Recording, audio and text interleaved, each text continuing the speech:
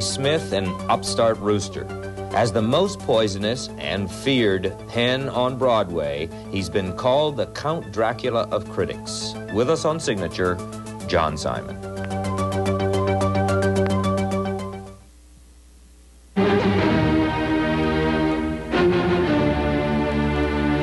Fascinating.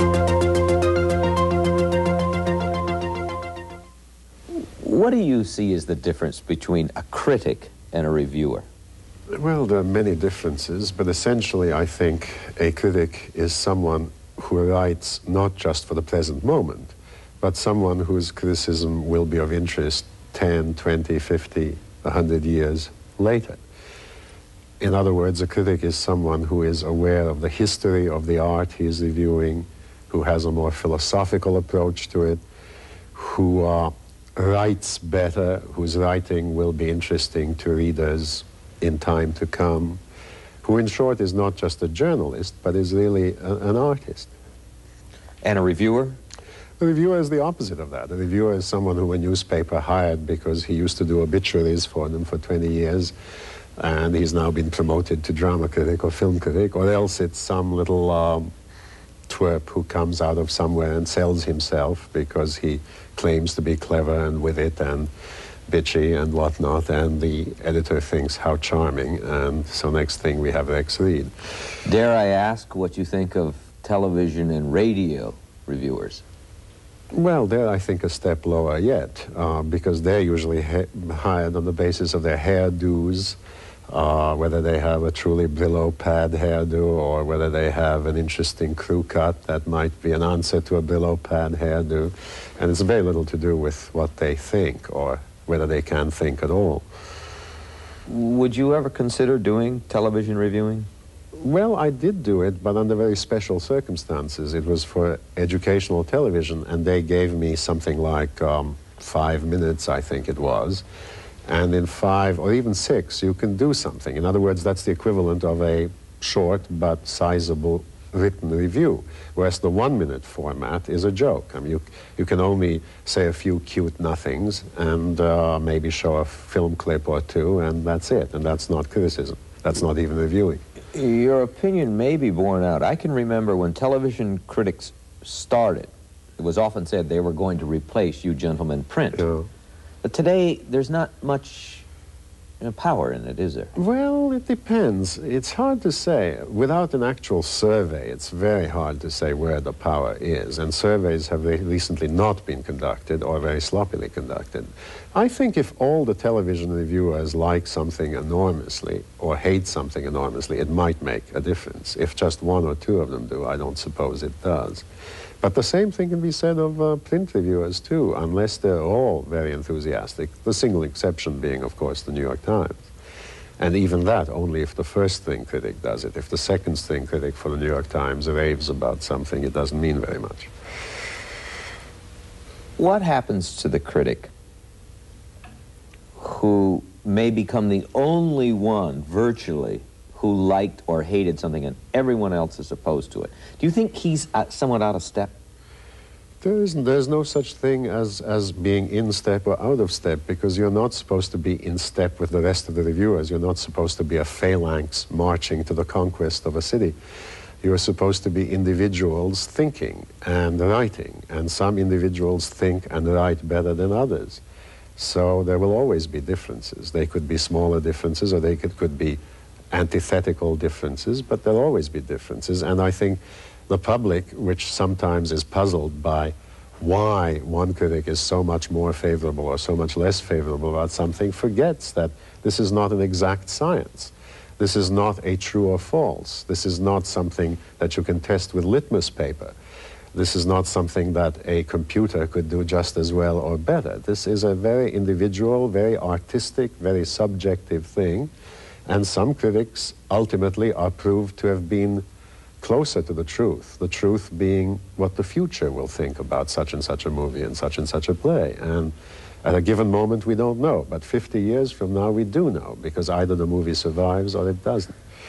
What do you want me, the reader, to do after one of your reviews? Do you want me to go to the play, not go to the play? Oh, I don't want to force you into any action except the act of thinking. I want you to talk back to my review. I want you to read it and say, this sounds very interesting, this might be true, this is something that hasn't occurred to me. I'm not sure that it is so, but it's worth checking out, and I want to check it out. Or this strikes me as illogical, uh, ludicrous, um, foolish. I can tell, even without seeing the play, that this has got to be absurd. I want you to talk back at it and get involved with it. And then, if you feel that there's enough there to make you want to see it, maybe see it, not necessarily slavishly march off to see it, nor slavishly say, no, no, no, no, this must be terrible. I mean, even if you agree with what it says, you might sort of say, well, still, there could be something there, and maybe I should check it out. Is it also, you should read other reviews and, and maybe get an idea from reading two or three critics. Is it fair to say that many theater owners and producers truly hate you? Yes, it is fair to say because most uh, theater owners and producers are businessmen, first, second, and last.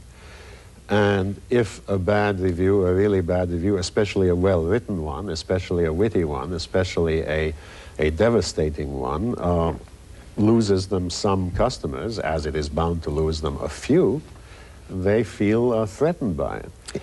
And if, on the other hand, a very foolish bad review appears that no one would lend any credence to, then that's not a threat to them. In, so, in fact, they tried to bar you from first night tickets for a while. Well, yes, once there was such an attempt made, but it only lasted a week or two, and it, it only meant that two or three shows were a bit of a problem, and then they realized their own silliness and. Um, there does seem to me a danger there. You once said somewhere that you knew three erstwhile film critics who felt they were fired because they wrote nasty reviews. And after all, theater owners, movie theaters are big advertisers. Well, in the past, in the, in the not so recent past, there were cases of uh, newspapers being even less enlightened than they are today, so that in those medieval days, they would actually, in one or two cases, fire someone who lost them a lot of film, not theatrical, film advertising. Um, I think that happened to Bill Zinsser, perhaps, and maybe to one or two other people. But it, it's, I think by now, you see, now they play it safe in another way.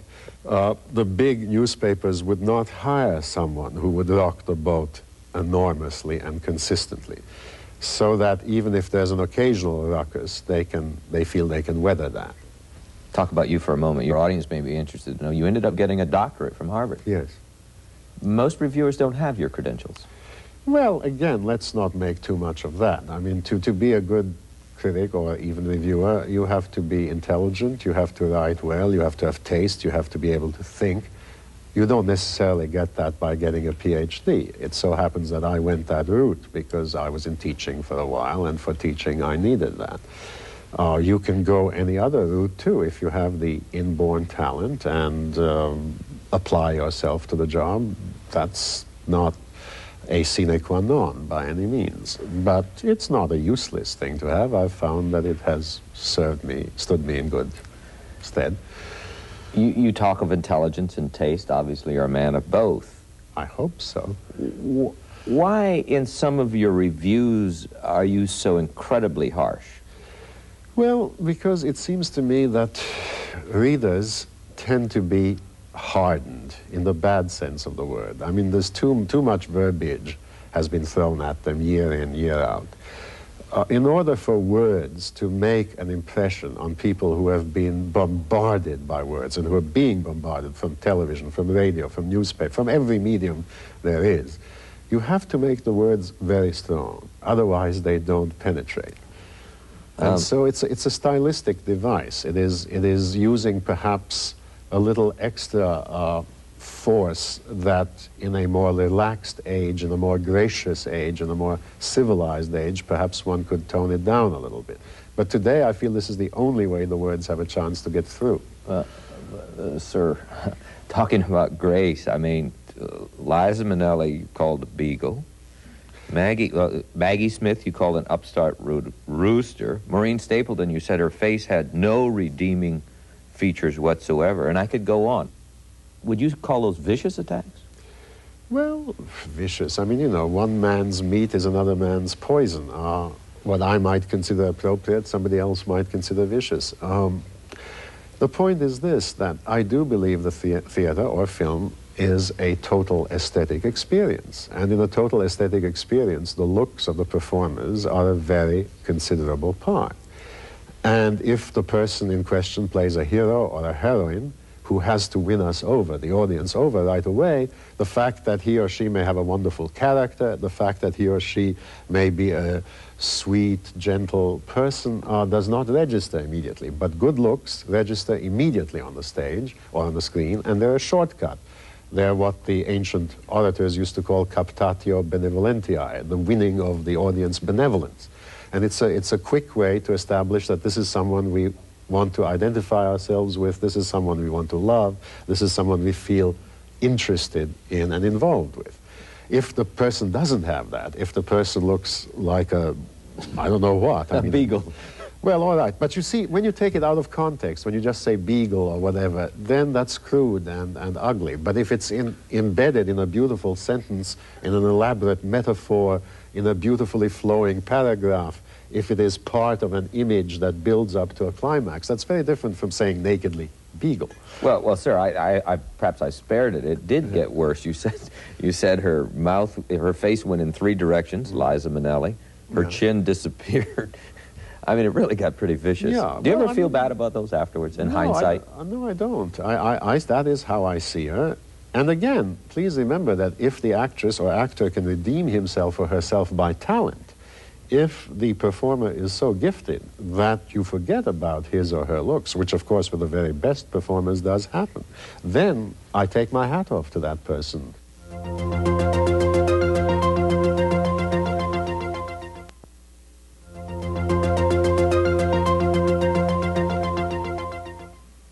One of the actresses, you, I think you called her a perennial gate crasher. She finally dumped a plate of dinner on your on your head. Yes, yes. Uh, did you feel that was uh, uh, totally out of? Well, I mean, what can I say? It's um, it was a sneak attack from from the side where I couldn't see her coming, whereas my review was up front and out in the open. That's the difference right there. Uh, the person in question is Sylvia Miles, who is much better known for being at all kinds of parties, whether invited or not. And I felt that her acting technique, you see, if I just said she's a gatecrasher, again, out of context, that sounds bad. But in context, I said she's a famous gatecrasher, and her acting is a kind of gatecrashing too. She bulldozes her way onto the stage without any finesse, any subtlety, any depth, and uh, so that the image made sense. Are you ever affected at all by the fact that you are so disliked in the industry that you cover? Well, again, I mean, it's not for me to say this, but in this particular instance, I'll have to. Uh, I'm not by any means universally disliked. I think I'm widely disliked, but that has to do with the fact that there are so many untalented or mediocre people in this or in any profession, and they don't like to be attacked.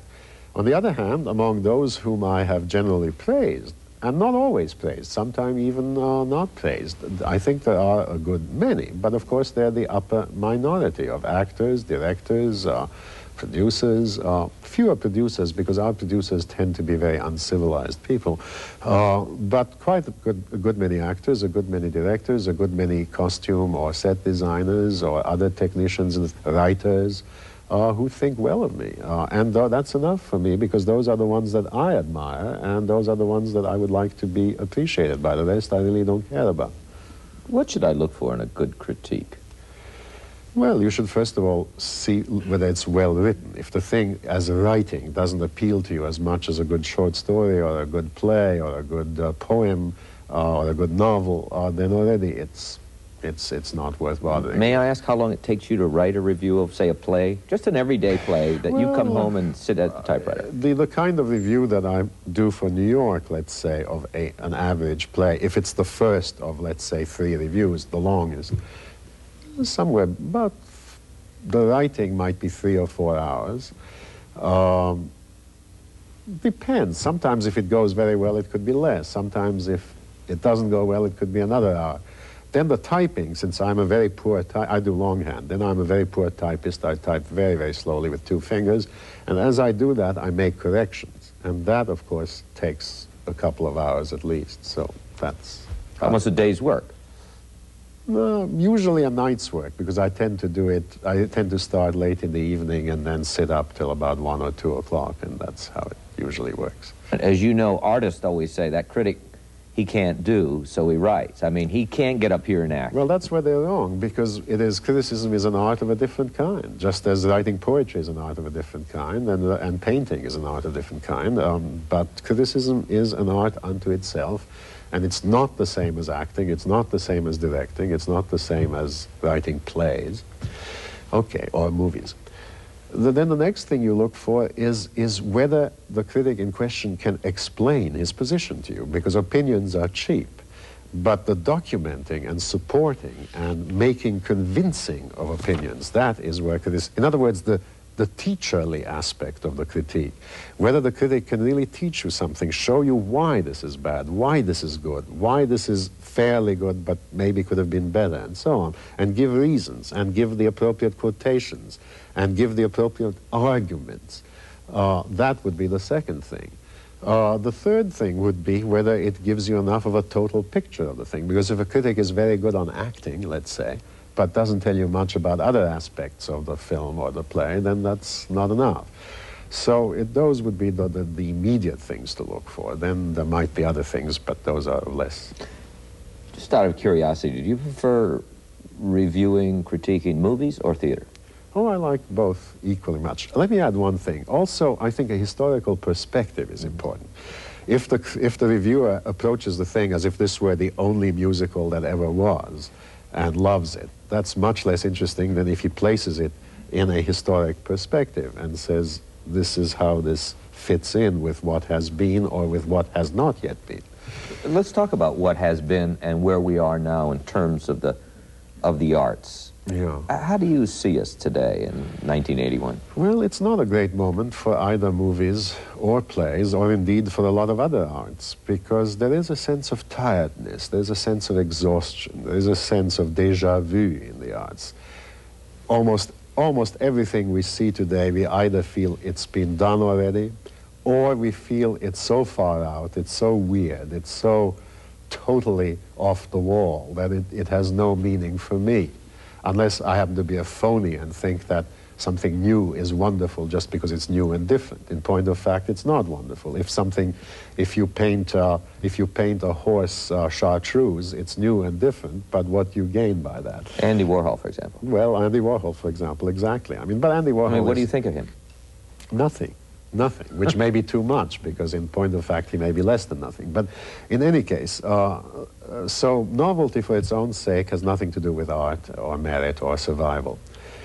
So that you have these two things, these weird new things that are meaningless and these tired old things that are repetitions of things that have been. It's very hard to find an original voice, either in the theater or even in film, which doesn't have as much of a backlog. Do you think it's that blockbuster mentality that seems to be loose, that you've got to have the $100 million movie? That's bad, but that is an economic problem. But of course, economics do have a lot to do with the situation. Yes, if things are very expensive, then obviously they have to be huge successes in a period in which things cost less, one can take chances, one can experiment, one can appreciate partial success, which is very hard to, to achieve today, especially in film, where, where the costs are even much bigger than in the theater. Uh, it would be nice, for example, if we had a much more subsidized theater. I think we need a national theater. Uh, we need uh, bigger rather than smaller subsidies, as the present administration seems to think. Why do you suppose, as a society, we're so reluctant to pay for the arts on a broad thing? I mean, we really do seem to want only the big winners, don't we? Well, I guess we're not very cultured. I think it does make a difference whether we are a society that really started cracking, let's say, in the, in the 17th and 18th centuries, or whether we've been at it for, say, 2,000 or 3,000 years in that sense, the Japanese, uh, the Europeans um, have it all over us. And ultimately, it does make a difference. I mean, obviously, individual brilliance, uh, a certain elite uh, excellence exists in every country. But then, when you go below that, In other countries, it doesn't thin out quite so quickly. It doesn't disappear quite so quickly. There is a more of a pyramid. Whereas here we have a kind of apex, and then suddenly there's nothing. And where's the rest of the pyramid? There's only sand. I guess my last thought is feeling as you do and striking out as you do. I guess I wonder why do you keep going to the theater? Well, because I love it, which is hard for people to understand. They think that love means approving everything, uh, swallowing everything. I think that is not love. That's either masochism or imbecility, but it's not love. Uh, or else it's a, it's a terrible bad habit of which people can't let go. In my case, I go because I have hope. Uh, no matter how hard hit I am by each absurdity I have to witness, I still, well, I try to see what good there is, and, and usually there is something good. I mean, there's a good performance, there's a good photography, there's good direction, even if the rest isn't good, and that's something, especially since I don't have to pay for it. Uh, if I had to pay um, $50 for merely good direction, I might be put out uh, or put off. But as it is, I can at least endure because of something. And then there's hope. There is hope because every once in a while a wonderful play comes around. Uh, well, wait, wait a minute. What about the blockbuster, for the so-called blockbuster we've got? Raiders of the Lost Ark. I think that's garbage. I mean, it's foolishness. It's, it's boring. I'm after five minutes, you're so saturated with with climaxes that, that they turn into anticlimaxes immediately. So by the time the sixth minute of that film is on, you've already been through 20 climaxes, and, it, and you, you, you, you OD on climaxes. That's not movie making as I see it. Obviously, you don't agree with the public. No, no, no. But look, I mean, the public um, has never been very good about uh, calling shots. The great masterpieces in any art form have almost never been immediate public favorites. It takes the public a good 20 to 30 years, or 50 years, or 100 years in the theater sometimes to come around. It's all right, a masterpiece can wait. It's only reviewers who think in this immediate mentality, if it's not a success now.